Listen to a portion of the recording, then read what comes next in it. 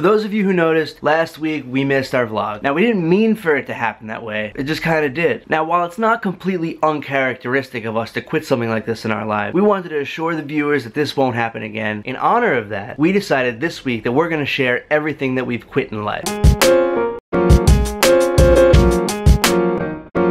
I guess when I was 13, I quit Hebrew school. The violin.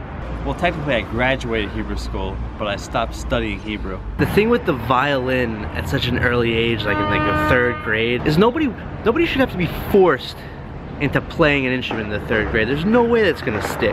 One of my first jobs I ever had was a busboy at a pretty shitty restaurant. Technically, I owned a bass guitar, The job didn't last more than about uh, five or six months. But I never played it, so I don't know if that counts. I used to play golf, I played Little League Baseball for a while.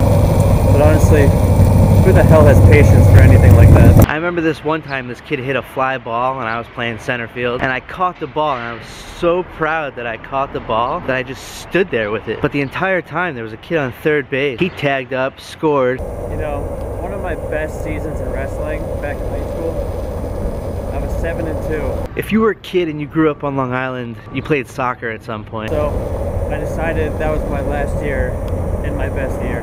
But I hated soccer. I would I would kick and scream until they pulled me off the field. So when I was in ninth grade, I joined the track team. Technically I quit track too, but it was more of like a it was more of a retirement. Uh, in ninth grade, I quit the track team. Call it a retirement. I retired from track. I told myself that this year would be the year to eat clean and healthy. I was kicked out of band in like ninth or 10th grade. I'd say that lasted for about two weeks. Since then, I really didn't have much of a reason to continue playing the drum.